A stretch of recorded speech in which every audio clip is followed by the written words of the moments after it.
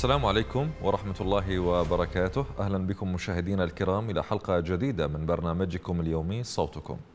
نعرض لحضراتكم أبرز ما تم تداوله عبر مواقع التواصل الاجتماعي بشأن العراق وبإمكان حضراتكم مشاهدينا أن تتواصلوا معنا من خلال أرقام هواتفنا التي تظهر أسفل الشاشة أمامكم أو من خلال الرقم المخصص للواتساب الذي يمكنكم من إرسال رسائلكم النصية التي سنقرأها تباعا إن شاء الله في هذه الحلقة. نبدأ مشاهدينا الكرام من فقرة المقاطع المتداولة في مواقع التواصل الاجتماعي. في قرار نهائي وغير قابل للاستئناف ومن المتوقع أن تكون له تبعات سياسية أعلنت المحكمة الاتحادية العليا في العراق وهي أعلى هيئة قضائية أعلنت اليوم إنهاء عضوية رئيس مجلس النواب محمد الحلبوسي. وأعلنت المحكمة إنهاء عضوية رئيس مجلس النواب الحلبوسي في المجلس بناء على دعوى قضائية نظرتها المحكمة. وأيضا أشار الإعلان إلى أن القرار اتخذ بناء على دعوى قضائية ضد الحلبوسي هذا العام دون التطرق إلى مزيد من التفاصيل. طبعا كان محمد الحلبوسي يقضي فترة ولايته الثانية رئيسا للبرلمان وهو المنصب الذي تولاه في عام 2018 أما المحامي للنائب السابق ليث الدليمي والذي تقدم بالدعوى القضائية ضد محمد الحلبوسي وأبطلت المحكمة عضويته كذلك قال هذا المحامي أنه وفقا لقرار المحكمة فقد انتهت اليوم عضوية رئيس مجلس النواب محمد الحلبوسي وتم طرده من البرلمان. دعونا نشاهد. أولا عدم صحة الأمر النيابي المرقم واحد على تسعة على خمسة. الصادر عن الأمانة العامة لمجلس النواب بتاريخ 15 واحد 23 المتضمن إنهاء عضوية النائب ليث مصطفى حمود الدلي بناء على استقالته. والأمر النيابي المرقم 136 الصادر بتاريخ 4 5 23 المتضمن إعادة تصويب الأمر النيابي المرقم 1 على 9 على 5 في 15 1 23 بقبول استقالة النائب. ليث مصطفى حمود الدليمي اعتبارا من 7 5 22 بدلا من 15 1 23 ثانيا انهاء عضوية النائب. ليث مصطفى حمود الدليمي اعتبارا من تأريخ صدور هذا الحكم في 14 11 23 ثالثا انهاء عضوية رئيس مجلس النواب محمد ريكان الحلبوسي اعتبارا من تأريخ صدور الحكم في 14 11 23 نكمل مشاهدينا الكرام مع نفس الموضوع. لم يكن مصير الحلبوسي غريبا على المتابع للشأن العراقي إذ حصل هذا الأمر مرارا وتكرارا في السابق مع شخصيات معروفة كما حدث مع رافع العيساوي سليم الجبوري وغيرهم. من قبل من قبل بعض الشخصيات ومن قبل بعض الأحزاب بعد أن تخلى عنهم شركائهم بالحكم عقب الاستغناء عن خدماتهم كما يقول عراقيون. طبعا بدوره قال رئيس البرلمان المعزول محمد الحلبوسي في أول تعليق له على القرار في مقطع مصور أصدره مكتبه قال إن قرار المحكمة بإنهاء فترة ولايته غريب وإنه سيقوم بطلب توضيحات بشأن ذلك. لنشاهد. خمس سنوات وأنا أعمل أكثر من خمس سنوات وأنا أعمل كرئيس لمجلس النواب. وحرصت من اللحظة الأولى إلى دخولي إلى مجلس النواب أن نعالج المشاكل اللي تعرض لها البلد. بلد تعرض إلى مشاكل طائفية مشاكل قومية مشاكل أمنية مشاكل إرهابية مشاكل خدمية وسعيت جميعا أن تضعون في نصابها الصحيح وتضعون الأمور في الخطوات التي تنعكس إيجابا على الشعب. للأسف أكو من يسعى إلى عدم استقرار البلد وأن يسعى إلى تفتيت المكونات السياسية للمجتمع وتفتيت المكونات الاجتماعية. يمكن ورد إلى مسامعكم آه، كما وردني قرار صادر من المحكمة الاتحادية آه، قرار غريب قرار آه، سيتم أيضا إيضاح تفاصيله وأموره بعد ما نطلع عليه بشكل كامل. مشاهدينا الكرام دعونا نتابع آه، بعض التعليقات التي وردت بشأن هذا الموضوع. أيمن يقول التاريخ لا يرحم من أنتم وماذا قدمتم لمناطقكم. من الأخير ماكو واحد خايف على البلد مصالحكم فوق كل شيء. هادي يقول هذه الخطوة تتبعها خطوات أخرى كثيرة وأمور سياسية أكثر. كان الله في عون العراق دائما وأبدا. خالد يقول كلهم عصابات. راحوا لو إجوا من الآخر كلهم تهمهم مصلحتهم ومصلحة إيران بعيدين عن الوطن. أو بعيدا عن الوطن. علي المحمد يقول لا تقل المحكمة الاتحادية تفجر قنبلة سياسية بل قل نفذت المحكمة الاتحادية أوردر بتفجير قنبلة سياسية. ولا تسأل عن صاحب الأوردر فالجميع يعرفه. طيب خلونا مشاهدينا الكرام نستمع لآراء آه، متصلين الكرام بشأن هذا الموضوع. ويانا السيد أبو علي من لندن. تفضل يا أبو علي. السلام عليكم. عليكم السلام ورحمة الله وبركاته. طبعا أستاذ محمد هذا القرار مم. من العام الماضي طبعا. مم. اقالته نعم نعم. بس هو تعرف بيناتهم صفقات فاجل هذا القرار لهذا اليوم. يعني هو من العام الماضي. وبعدين يقول أنا حققت وحققت. يا اللي يطلع يقول أنا حققت وسويت و... أنت حققت عمي؟ سويت. أنت ما حققت إلا هاي نسوانك الاثنين الواحده قمت توزع لها قصور ها؟ نعم. توزع لها بس شركات. طلعنا طلعنا من هالجزئية يا أبو علي. أنا ما أحب أتكلم بهاي الأمور رجاء. طلعنا خلينا خلينا بالراحة. بإنجازاته آه، ماكو ونسوان صفر. رجاء. صفر. صفر صفر صفر. ماكو انجازات صفر. سراق. سراق. شنو الإنجازات؟ يلا أستاذ محمد شنو الإنجازات؟ ما هي هاي هذا السؤال. أنا بس يعني بجانب هذا الموضوع أكو نقطة هو طبعا ذكرها بحديثه. قال بأنه آه يعني أشار إلى أنه هذا القرار قرار مسيس وأن هناك ربما ضغوطات مورست على المحكمة لإصداره. آه وإن كان وإن كان ما يحدث يدخل ضمن الصراعات السياسية. لكن محمد الحلبوسي صدق بهاي النقطة اللي تتعلق بالسيطره من قبل المسؤولين المتنفذين في الدولة على القضاء في العراق. آه، يعني آه، هل يستغرب إصدار هذه الم- المحاكم؟ هكذا قرارات تدخل ضمن الصراعات السياسية طالما كانت هي محاكم مسيسة يتم التحكم بها عن طريق باقي الأحزاب؟ أكيد أكيد هو قرار مسيس. واتفاقات بين بين آه، ميليشيات وبين الكتل. يعني ماكو قرار من المحكمة يجي إلا ما عمي إلا ما أمر من إيران. هالشكل أقول لك؟ يعني أمر من إيران. نعم. قرار مسيس طبعا ولا هم ما لهم علاقة لا بال لا بالشعب ولا ب ولا بالعراق ولا لهم علاقة ب ب بأمور العراق. هاي بيناتهم أكيد اختلفوا ب ب بمشروع ما. نعم. نعم. وشالوا لنا اياه إن شاء الله يوم يوم للميليشيات ويوم للحشد ويوم ونخلص منهم هذا البلاء اللي اللي أنزل علينا. نخلص منهم واحد واحد إن شاء الله. شكرا جزيلا سيد أبو علي من لندن. نسمع رأي السيد أبو علي من واسط. تفضل يا أبو علي حياك الله. السلام عليكم سيدي الكريم. وعليكم مساء السلام. حضرتك ومساء الخير لجمهور الرافدين. مساء اسمح لي. خلينا نتكلم تفضل. يعني سياسيا بهذا الأمر. الحلبوسي ال- الإطار يعني اراد أن يتخلص من عنده بعد استقالة التيار الصدري. لكن وعن طريق شق ما يسمى بالمكون السني بالبرلمان لكن ما قدر. أكو قانون إيراني موجود من 2003 مهم. أنه أي ما يسمى بين قوسين زعيم سني. لا يستمر أكثر من ثمان سنوات.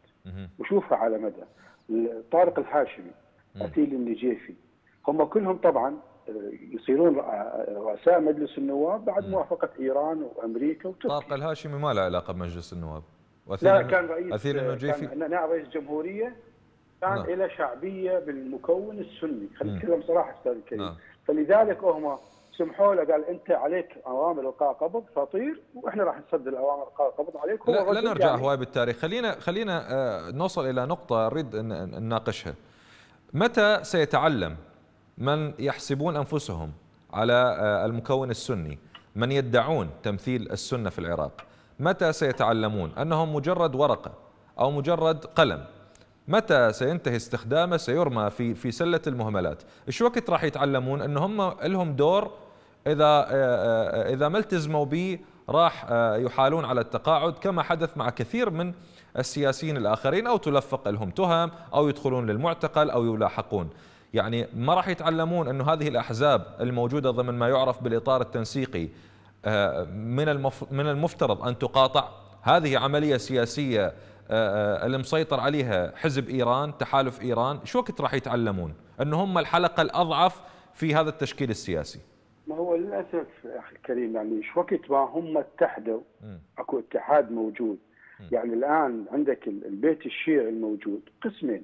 الاطار التنسيقي والميليشيات والتيار الصدري. لكن شو وقت ما حس هذا المكون إنه مستهدف راح يلتمون مع بعض يعني إيران تجمعهم. للأسف أختلف بنقطة أختلف بنقطة. تفضل. صراع صراع الأحزاب التي تحسب على المكون الشيعي وأنا ما أحب هاي التوصيفات لأن هي خلينا نسميها الإطار التنسيقي والتيار الصدري. هؤلاء لا يهمهم مصلحة أبناء الوسط والجنوب بقدر ما تهمهم وتعنيهم مصلحة آه، أحزابهم. وشخوصهم. يعني مو معنى هذا إذا شعروا إن هناك تهديد على الشيعة في العراق راح يتوحدون. نعم. لا لا مو أقصد. لا لا لا. تهديد على مكانتهم نعم. بالوزارات نعم. أنا أقصد. والدليل والدليل أنه 2010 لما التيار. الصدري عنده موقف ويا دولة القانون. من فهد أياد علاوي مع القائد العام القائمه العراقية اتحدوا والمالكي هو صار رئيس وزراء.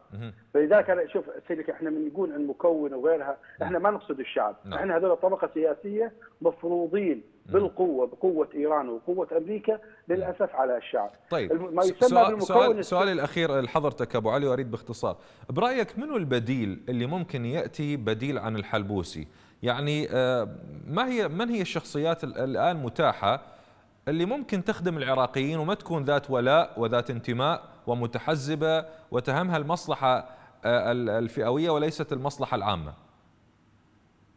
هذا لو أكو واحد هيك يحب العراق ويحب المواطن ويريد يشتغل المواطن ما يوصل مجلس النواب ولا راح ياخذ منصب لأن أساس المناصب توزع لكل من يريد منفعة شخصية ولا يخدم العراق. فلذلك مثل سؤالك قبل إنه السنة شوكت يتوحدون؟ لأن ماكو أحد هام المواطن والوطن. كل من نعم. هام مصلحته لا أكثر ولا أقل. نعم. هنا التقاسم تقاسم مصالح مو تقاسم من أجل خدمة شعب لا أكثر ولا طيب. أقل. فلا يوجد بديل. شكرا جزيلا سيد أبو علي من واسط ويانا السيد باسم من النجف. تفضل يا باسم. السيد باسم من النجف. فقدنا اتصال. للأسف فقدنا الاتصال ويا السيد باسم من النجف. أرجو منه يعاود الاتصال مرة ثانية. نكمل مشاهدينا الكرام مع موضوع آخر يرتبط إلى حد ما بالموضوع الأول ويدخل أيضا آه، ضمن آه، خانة الانتخابات. هو طبعا هو يعني في الانتخابات لكن سنتحدث فيه عن الرفض الشعبي للعملية السياسية برمتها وما تنتجه هذه العملية أو تنتجه هذه العملية من انتخابات وغيرها. أفادت مصادر محلية باتساع ظاهرة تمزيق اللافتات والملصقات الخاصة بالدعاية الانتخابية للكتل والأحزاب المشاركة في انتخابات مجالس المحافظات. و أيضا آه، هناك حملة دعائية انطلقت مطلع الشهر الجاري لهذه الانتخابات. معها سجلت حالات عديدة لتمزيق صور المرشحين كنوع من الرفض الشعبي لهذه الانتخابات وما ستسفر عنه من وجوه يجري إعادة تدويرها لمصلحة الأحزاب الفاسدة. طبعا تفتقر معظم الأحزاب المشاركة في الانتخابات المرتقبة إلى مشروع سياسي استراتيجي واضح أو إصلاحي طويل الأمد. مع غياب البرنامج الانتخابي للأحزاب المترشحة في وقت تكتفي فيه هذه الأحزاب بنشر الصور فقط. ففي محافظة النجف أظهرت صور قيام شباب بتمزيق صور المرشحين في خطوة تدلل على حجم الرفض الشعبي للانتخابات ونتائجها. لنشاهد.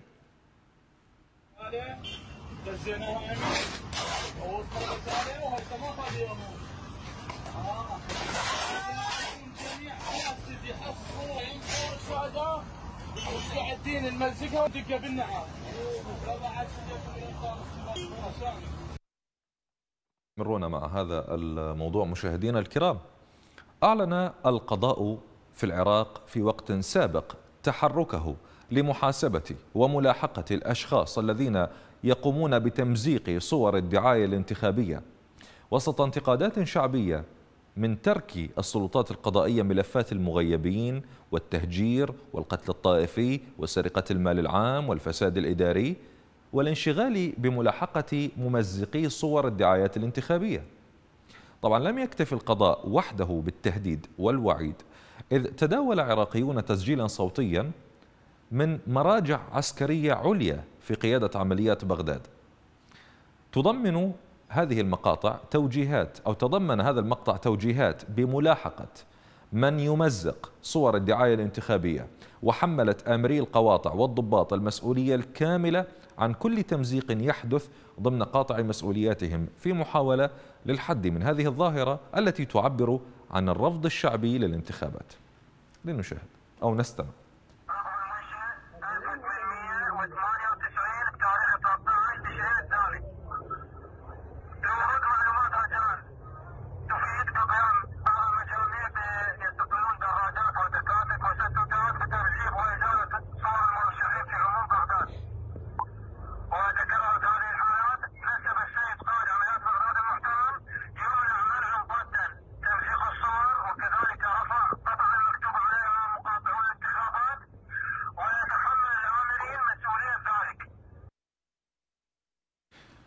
طبعا نستمر مع هذا الموضوع مشاهدينا الكرام. لجأ المقربون من المرشحين في بعض المحافظات العراقية إلى حماية صور مرشحهم بعد أن طالت يد الغضب الشعبي جميع الصور ومزقتها في دلالة على حجم النقمة تجاه الطبقة السياسية الحاكمة. ووصل بأحد المرشحين في منطقة الشعلة في بغداد أن يوجه أفراد حمايته أو بعض من عناصر تابعة له بإطلاق النار والرصاص الحي على شباب حاولوا تمزيق لوحاته الانتخابية في مشهد آخر يبين حجم استقتال السياسيين في خوض هذه الانتخابات بعيدا عن تطلعات العراقيين. لنشاهد.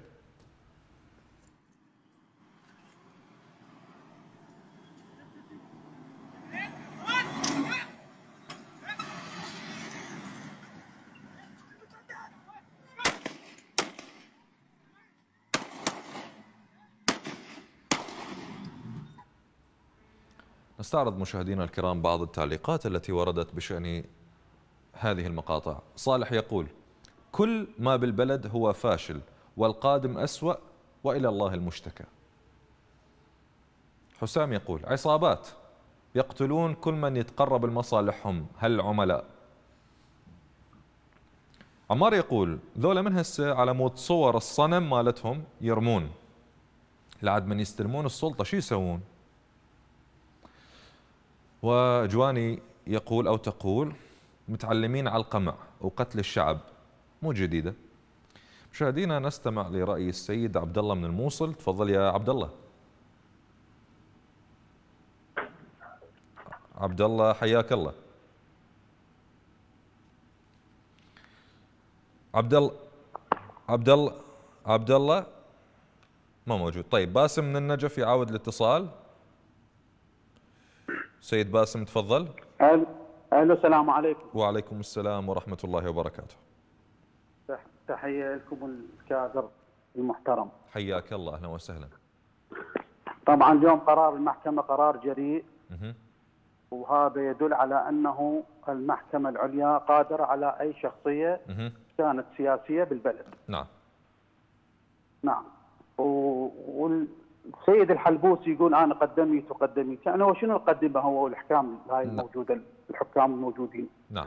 والأحزاب هاي الحاكمة. كل من يشتغل على اجناته اللي, اللي هو يريدها. أحزابهم الفائدة لأحزابهم فقط. نعم. يعني برأيك ما حد من ذولا اللي موجودين في العملية السياسية قدموا أي شيء للشعب العراقي؟ لا لا ما قدموا شيء. قدموا لمصالحهم الشخصية فقط. نعم. عندي سؤال سيد باسم. مصالحهم الشخصية و... نعم. هل هل يختلف أحد في العراق على فكرة أو على مبدأ أنه كل الأحزاب الموجودة في العملية السياسية متورطة بسرقة وتدمير البلد؟ نعم. سيدي الكريم يعني نعم. إحنا أبسط شيء هاي ما يعني نعم. قضية نور زهير. نعم. اللي 3 مليارات دولار وكسور. شنو اللي صار عليها؟ شنو اللي صار؟ طلعوه طلعوه براءة ورجعوا له ممتلكاته وأموره تمام. وين صارت القضية؟ انتهت القضية القضية انتهت. انحلت رجعوا له فكوا الحجز على ممتلكاته واطلقوا سراحة ليش هي؟ مو هذا هذا اللي يقودنا ليش انحلت هي؟ لأن لأن هاي بها رؤوس حيتان كبار بها هم من عندهم ممتاز ممتاز أنا هاي النقطة اللي أريد أوصلها حيتان من عندهم سيد سياسيين سيد آه موجودين اللي هم مشتركين بالعملية مال نور زهير نعم سيد باسم أكو نقطة هنا أنا أريد أتطرق لها ما دام حضرتك وصلت إلى مربط الفرس المحكمة الاتحادية العليا اتخذت قرار أنت قلت في البداية قرار جريء لكن هو القرار يعني حقيقة هذا ظاهري بقدر ما هو إملاءات وتوجيهات سياسية وهذا واضح والدليل ما تفضلت به قضية نور زهير هي قضية صغيرة وسرقة صغيرة يسموها سرقة القرن هي هي حقيقة لا شيء من من السرقات اللي حصلت في العراق. إيش عجب؟ طلع الموازنات الانفجارية. نعم. إيش عجب؟ طلع نور زهير مثل الشعرة من العجين. إيش عجب؟ نور المالكي لم يحاسب على سرقة ثروات العراق وعلى قتل أبناء الشعب العراقي وعلى إدخال داعش إلى العراق. إيش عجب؟ الميليشيات وزعمائهم الموجودين بالحكومة مدى يتحاسبون. فالسؤال الأهم هنا هل فعلا المحكمة الاتحادية مستقلة وتتخذ قرارات جريئة أم هي منظر بس واللي يجيها أوردر على قولة أحد المعلقين؟ الأوردر تنفذه. نعم. سيد الكريم يعني المحكمة الاتحادية العليا يعني عندها بعض القرارات الصائبة. إحنا ما نقدر يعني نطعن 100% والميليشيات اللي تفضل بها طبعا هي مو كل المشتركين هم بالعملية السياسية هم سراق. إحنا هم ما نظلم يعني حظنا وبختنا يعني بس القلة القليلة الموجودة هم اللي يشتغلون من صالح الوطن. لا هنا القليلة. لا أكو فرق. هنا من نقول القلة القليلة من أمه؟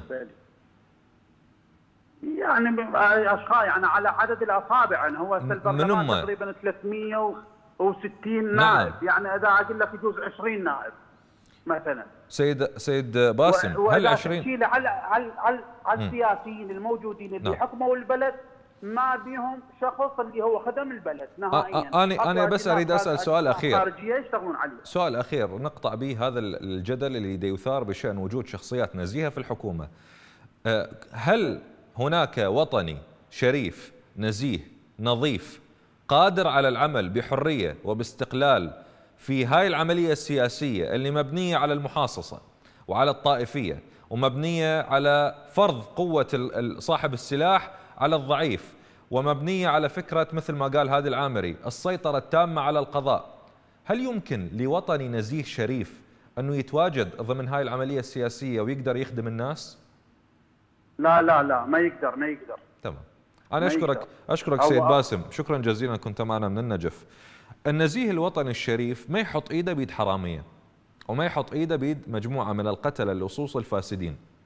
النزيه الوطني الشريف يقاطع هاي العملية السياسية لأنه لا مكان له فيها. مو بإرادته. هم ما يريدون أحد وطني شريف يكون موجود. خلونا نسمع رأي السيد عبد الله من الموصل. تفضل. فقدنا الاتصال ويا السيد عبد الله من الموصل. طيب نكمل مشاهدينا الكرام ما لدينا من مواضيع في هذه الحلقة. ننتقل إلى موضوع آخر. تتناقل وسائل الإعلام في العراق تقارير كثيرة عن تعرض معلمي المدارس والمدرسين في مناطق مختلفة من العراق لاعتداءات من التلاميذ بسبب رسوبهم أو تلقيهم عقوبات إدارية أو منعهم من الغش في الامتحانات وحتى بسبب استيائهم من التعليم ما يؤكد عدم إظهارهم أي احترام وتقدير للمعلمين لأن هذه الظاهرة باتت بحكم المعتاد في ظل انخراط جهات أخرى في عمليات استهداف المعلمين والتعليم بشكل عام في العراق. ففي قضاء عفك بمحافظة القادسية أقدمت مجموعة مسلحة على إغلاق الطريق المؤدي إلى مدرسة الطائف بالسواتر الترابية ومنع أساتذة المدرسة وتلاميذها من الدخول إليها بذريعة أن أصحاب الأرض التي شيدت عليها المدرسة منذ الثمانينيات يطالبون بالتعويضات وطالب مدير المدرسة وأعضاء من نقابة المعلمين قيادة شرطة القادسية بالتدخل لحماية الأساتذة والتلاميذ من سطوة هذه الميليشيات. لنشاهد. بدعوة من قبل نقابة معلمين قطاع عفك اليوم حضرنا في فرع الديوانية بالتوجيه من نقيب المعلمين بحالة ما نعرف شو نسميها وهو قطع الطريق بمادة التراب والشفل ومنع التلاميذ والكوادر آه، بدوام كون هاي المدرسة تابعة لأحد أملاك آه، مالكين هاي الأرض في قرية كوشان آه، آل كوشان قضاء عفك. فنطلب من السيد المدير العام والجهات الأمنية وتم اتصال بالجهات الأمنية قبل من قبلنا كنقابة معلمين في الأمن الوطني ومديرية الشرطة وأيضا نطالب بحماية كوادرنا. هاي الحالة مو صحيحة. هاي الحالة بداية بداية دوام وبداية أسبوع اليوم الأحد لمنع التلاميذ والكوادر من الدخول بحجة آه، عدم وجود آه، آه، ملكية لهذه المدرسة، هاي المدرسة تعود إلى 1987 أستاذ علي. مستمرون مع هذا الموضوع مشاهدينا الكرام. تتعدد الاعتداءات ضد المدرسين ولا تنحصر بالميليشيات والمجاميع المسلحة فحسب إذ يشمل الأمر أيضا القوات الحكومية التي من المفترض أن توفر الحماية لشعبها إذا أكد مجموعة من التدريسيين التربويين تعرضهم لاعتداء وإطلاق نار بالرصاص الحي من قبل القوات الحكومية عند عودتهم من قضاء عين التمر إلى محافظة كربلاء وتحديدا عند سيطرة الطار. وأكد المدرسون ممن نقلوا إلى قضاء عين تمر حديثا أكدوا ملاحقتهم من قبل عناصر مجهولة تستقل عجلة مدنية ضايقت حافلات المعلمين أو المدرسين ما أدى إلى إجبار إحدى الحافلات على الوقوف المفاجئ. دعونا نتابع كيف تتعامل القوات الحكومية عند سيطرة الطار مع المعلم مع مربي الأجيال.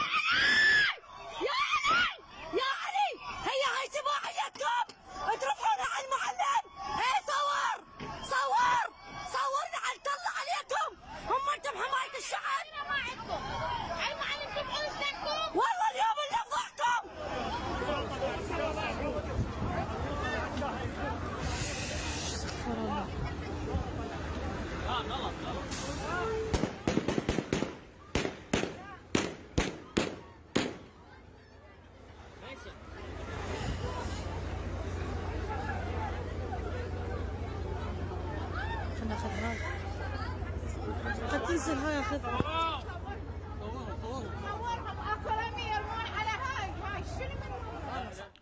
مشاهدينا الكرام نتابع بعض التعليقات التي وردت بشأن هذين المقطعين.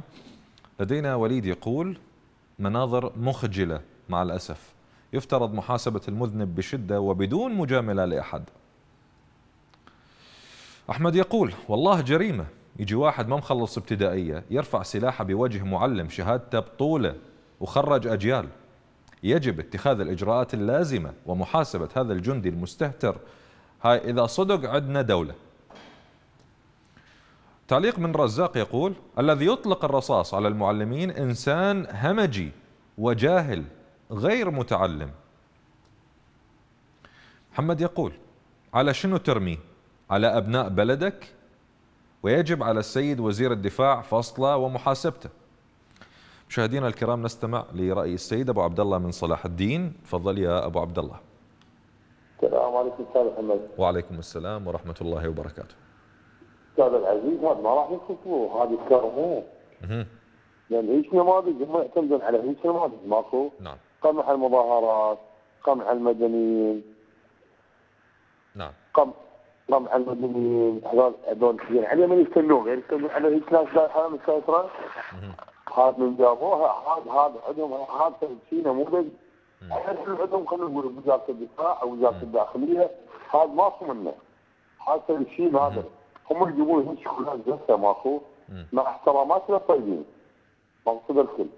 هو أبو عبد الله هو هل هل يعقل بأنه يتصرف هذا المنتسب أو هذا الضابط من من دماغه من وحي خياله بإرادته الشخصية لو بكامل إرادته لو هو لأنه شايف أنه أكو نماذج وأكو حرية بهذا التصرف وانتهاك هذا هذا السلوك انتهاج هذا السلوك. يعني لو هو لو ما يعرف أو مأمن على نفسه أنه ماكو محاسبة وأنه هو حر بإطلاق الرصاص وقت ما يشاء وكيف ما يشاء ما كان هذا الشخص وغيره هذا المنتسب أو هذا الضابط وغيره شفناهم رفعوا سلاحهم بوجه المواطن اللي هم من المفترض يحموه. مو يتجاوزون عليه ويهددون حياته. أستاذ محمد حكيت حلو بس هذا الحكي تدري من يتوجه هذا الحكي؟ يتوجه قائد عملية فرادات من طلع البصمه ماكو نعم. من اللي يحاسب اللي تشوف الصورة بين صورة تنشد صورة تنشد عادي. صورة تنشد نعم. بس هذا بشر يعتبر بطلقه حيه ماكو رصاص حي. زين هذا الموت شلون تعوضه؟ نروح نسوي استنساخ مكانه لا تستغرب لا تستغرب. يعني هو سؤال حقيقة. هو ليش أكو ناس تستغرب من من القيادات الأمنية والعسكرية الموجودة في العراق؟ إذا كان واحدهم على كتفه نسر وما أدري كم نجمة وياه يبوس إيد زعيم ميليشيا. وإذا كان الثاني اللي يقول إحنا نحمي النظام السياسي في العراق كان قائد قائد القوات العسكرية. تمام؟ يعني النقطة إنه اذا إذا هكذا إذا كانت الرتب العليا إذا كانت القيادات العليا في الجيش والشرطة تمجد بزعماء ميليشيات ويقول لك إحنا نحمي النظام السياسي في العراق. فليش أكو ناس تستغرب إنه إحنا ننتقد الأجهزة الأمنية؟ يقول لك لا ليش تنتقدهم ذولا حماة الوطن؟ يابا مو هاي تصرفاتهم. طيب إحنا يعني شلون؟ يعني لا مأمنين على حياتنا بوجودهم ولا هم دي يحافظون على النظام في العراق ضد الطبقة السياسية. لا هم واقفين ويا الحكومة. زين أستاذ العزيز هذا بالتاج ما أدري كم لازم زين هي أخذها باستحقاق لو دمج. نعم. يعني جابها بس هي عسكرية لو جابها دمج. جابها من العيال ماكو شدوا له ياسر روح أنت صرت حميد أنت صرت أخي تاج هذا لو دارس كليه عسكرية صحيحة. الكلية العسكريه مال العراق أستاذ العزيز نعم. خرجت أبطال. وخرجت ناس يقول لك والله يجيبوا يشتمون يجبنوا فلوسها يعني غير باص ايد السيد ماله يعني والي نعمته. نعم. شكرا أبو عبد الله من صلاح الدين. أشكرك للمشاركة. ويانا السيد أبو علي من الديوانية. تفضل. السلام عليكم. وعليكم السلام ورحمة الله. حبيبي ذول اللي يقطعون الطريق على الكادر الدراسي بعفت نعم. لأن هم الطلاب منين؟ والكادر منين؟ هم من اهالي عفت. لا لا هم مو من هم مو من عفق. هم من آه هذا المقطع كان بكربلاء. لا الما قبله الما قبله الما قبله نعم. الميليشيات تقطع الطريق نعم على المدرسين في في قضاء عفق نعم. حبيبتي هي هي اللي تستولى على الديوانية عشائر تستولى على الديوانية واحزاب. تساوم الدولة بكل شغلة بالديوانية. شوف هسه لاجت مشاريع بالديوانية. كل من الحزب يريد حصته والعشائر يريد حصتها. وين يعني القانون؟ وين القانون؟ إحنا الدولة خارج دولة العراق. مو داخل دولة العراق. نعم. اللي تستولى عليها تستولى عليها عشائر وأحزاب. لا ليش لا ليش أنا بس عندي سؤال أبو علي. ليش تستغرب هاي الأحزاب وقيادات هاي الأحزاب؟ أنه الناس تشكشك صورهم بالشوارع تمزق هذه الصور تشيل هذبها بسلات المهملات بالنفايات يحرقوها. ليش يستغربون؟ إذا هم شو موفرين للعراق حتى المواطن يحبهم ويقدس هذه الصور اللي موجودة في الشارع ويحافظ عليها من التمزيق؟ حبيبي قبل قال قال مو كلهم 360 نائب هم كلهم حرامية. أكو بيهم بال20 إلى بال20 فمن الجنوب تقريبا حوالي خمسة ستة فهذول بالله عليك من اللي كحل العين من الجنوب وراعى مصالح الجنوب؟ نعم. من هو؟ والله خليتني اياه يعني قلت اكو رمز يعني أنتم أنتم فضائية وكل الفضائيات الشوف. يا رمز أو يا نائب اللي فات أهل الجنوب. الله وكيلك ترى بالديوانيه أغلبيتها تحت الصفر مو فوق الصفر. نعم. يعني الفقير إذا قاعد بالتجاوز يعني ما يملك وطن. نعم نعم. ما يحس ببطن لا هو قاعد بالتجاوز وعليه الضرائب وما مخلص بنفسه يحس نعم. ببطن والله ما أنا ما أحس ولا أشكرك. أحس إن يعني نعم. عندي وطن أنا. أبو أبو علي أنا أشكرك وأعتذر منك لأن الوقت شارف على الانتهاء. السيد عبد الله من الموصل يعاود الاتصال. عجبه موجود. عبد الله تفضل السلام عليكم. عليكم السلام ورحمة الله وبركاته. أستاذ محمد أخي العزيز لا يوجد قانون بالعراق بتاتا. ما ما يجرى في العراق. يعني هسه أنت تقول معلمين. تعال شوف الجامعات أستاذ كبير بالعمر. نعم. عمره أكثر من 60 سنة. مم. يجي يحكم شرطي بسيط. ما يقدر يتنفس ولا يقدر يتكلم امام شرطي. نعم. بينما كان في قبل 2003 منو كان يقدر يدنس أو يط- يطب على الحرم الجامعي اذا ما. و- وكل التقدير والاحترام. أصبحنا في في غابة مع الوحوش. والسبب سبب إحنا لأنه إحنا لو نعتصم ما بنذهب للانتخابات أنا بس عندي نقطه عندي نقطة أختلف بيها ب- ويا نعم. حضرتك بجزئية.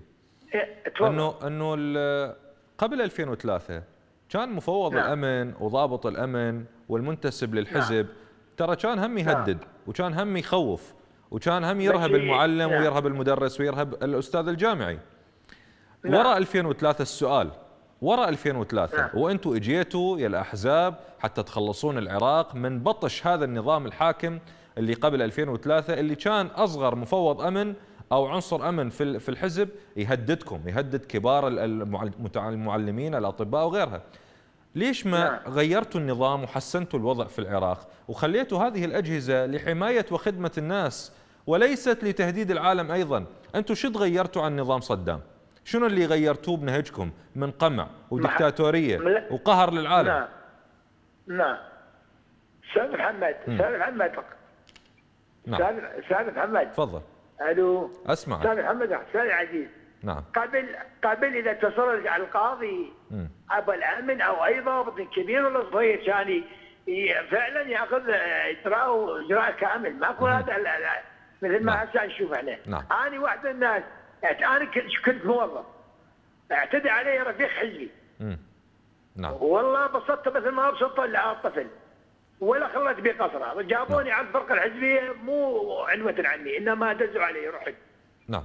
وقفت بوجوههم لا لا كثير من آه، أبو الرفاق س- سيد عبد الله نعتذر منك القصة القصة جزء تكون طويلة. مختصرها مختصرها أنه أنت تقول أنت تقول رغم. وجود اسمح لي. أي. آه، آه، أنا وياك. يعني هسه تجي انت شرطي ما قد تحكم يعني ال- كل الناس ضدهم وضدوا وياي. نعم. هاي جانب. جانب آخر كان المحافظ اللي تصير طلقة المحافظ مسؤول عن كل الحماية مال البلد المحافظة. وين المحافظ؟ طيب وين- شكرا وين- شكرا جزيلا. وصلت؟ الفكرة. آه سيد عبد الله أعتذر منك جدا لأن الوقت شارف على الانتهاء. أشكرك. نكمل ما لدينا مشاهدينا الكرام في هذه الحلقة. ننتقل إلى موضوع المدارس والأبنية المدرسية. انطلق العام الدراسي الجديد قبل نحو شهر ونصف في العراق والبلد يعاني من نقص كبير في أعداد المدارس ويقدر بنحو 9000 مدرسة. طبعا أرقام وزارة التربية والتعليم العراقية تفيد أن عدد المباني المدرسية العاملة حاليا هي 16800 مدرسة علما أن أعداد المدارس المصرح لها هو أكثر من 25 ألف مدرسة.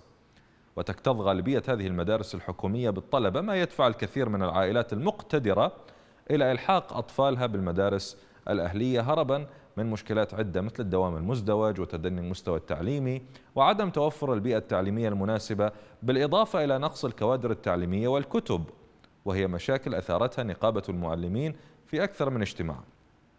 طبعا ينتقد ناشطون الحكومة بعد تسويفها موضوع ترميم المدارس والاكتفاء بأعمال ترميم صورية أو صورية كما حصل مع مدرسة الأبطال في محافظة القادسية. لنشاهد.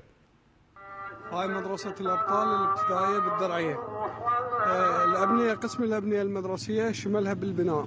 فسووا فلشوا السقف صعدوا كم ساف بس المشكلة وين؟ بنوا على هاي الخربطة يعني بنوا على هاي الانشقاقات الموجودة بها. طبعا هذا مو بس شق واحد هواية بها موجودة. هسه راح أطلعهم بالصورة. هاي ما ترامله لازم تتفلش لأنه المدرسة من 1958 إذا على هاي الطريقة يعني هيك حرامات هاي فلوس بلاش هذا الشق الثاني من فوق لجوا. شلون بنوا عليه؟ ما أعرف هذا. لحد هنا. هاي الشق الثالث بالمدرسة وهذا هم مبني عليه.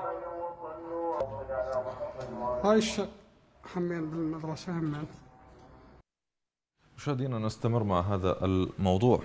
انتقد مدونون وناشطون في مواقع التواصل الاجتماعي ما وصفوها بحالة الإهمال وعدم تهيئة المستلزمات الضرورية في المدارس العراقية وسط تحذيرات من تأثيرات سلبية للحالة على الواقع التعليمي في البلد بالإضافة إلى توجه الكثير من العوائل إلى التعليم الخاص كما ذكرنا قبل قليل بسبب النقصات في المدارس الحكومية. طبعا آه، هناك أيضا آه، انتقادات للتستر الحكومي على فضائح الدولة من خلال إجراء عمليات ترميم سريعة وترقيعية لا تلتزم بضوابط ومعايير الأمان كما رصد أحد وجهاء ناحية العباسية بمحافظة النجف. نشاهد. المهندس الواقف هنا وبالشركة اللي يقضي ويروح. خيراوي الشيش هذا توه. هذا من الشيش هذا حاله. هذا حال الشيش تفلش زين بينك وبين الله هذا يصير ينعاد؟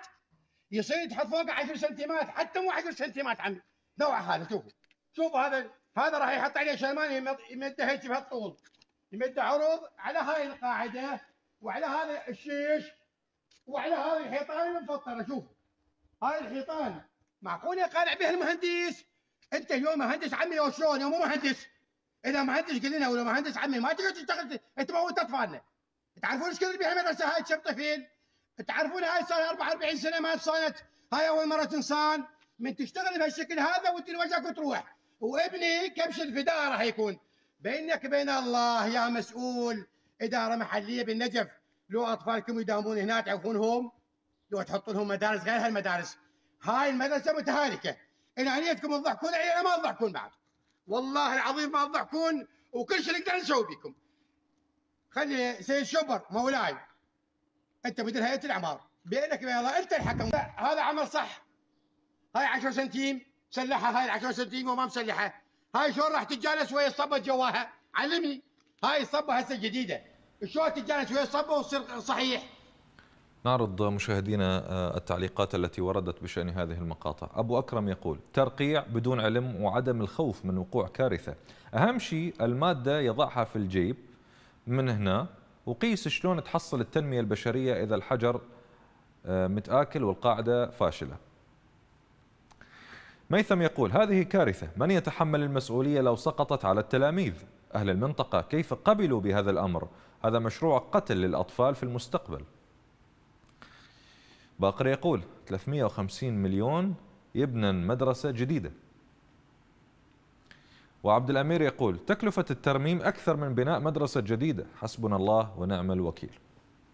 مشاهدينا ننتقل إلى فقرة الانفوغرافيك الانفوغرافيك ضجت مواقع التواصل الاجتماعي بالسخرية من جيش الاحتلال الصهيوني بسبب المثلث الأحمر المقلوب الذي تستخدمه المقاومة الفلسطينية في إصداراتها المرئية الخاصة بعملياتها ضد الاحتلال خلال الحرب على غزة.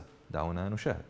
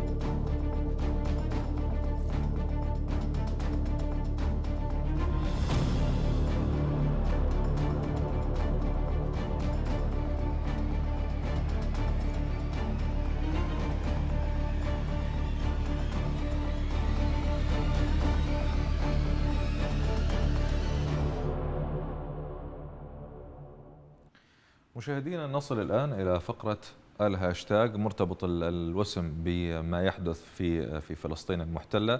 واسم اليوم هو غزة مقبرة الدبابات. جئناكم ببعض التعليقات على منصة إكس بشأن هذا الوسم. عمار يقول اشتباكات اليوم هي الأعنف منذ بدء الغزو البري لغزة وخسائر جيش الاحتلال هي الأكثر هذا اليوم. الأبطال الآن يسطرون ملاحم وبطولات على ثرى غزة كثفوا الدعاء لإخوانكم. حياة تقول مع مرور الأيام يثبت لنا أبطال المقاومة الفلسطينية أن غزة فعلا هي مقبرة الدبابات والجنود الصهاينة. لله دركم أيها الأبطال. حامد يقول مر 38 يوما من القصف المتواصل ولا تزال صواريخ القسام تصل إلى تل أبيب. خسائر الاحتلال في غزة لا تحتاج إلى توضيح. نرى ونشاهد الزلزلة والبأس والنصر والتمكين لجند الله في أرض الرباط. صدق الله العظيم. ولينصرن الله من ينصره إن الله لقوي ولينصرن الله من ينصره إن الله لقوي عزيز. صدق الله طيب. مس تقول لا تعتادوا أخبار الرشقات أو الرشقات وقذائف الياسين. كبروا في كل مرة تسمعون فيها خبرا كهذا. لأن هذا دليل على حضور المقاومة والمزيد من خسائر العدو للجنود والآليات المستخدمة في الحرب على الأبرياء. بهذا مشاهدينا الكرام أصل وإياكم إلى ختام حلقتنا لهذا اليوم. شكرا لكم لطيب المتابعة وإلى اللقاء.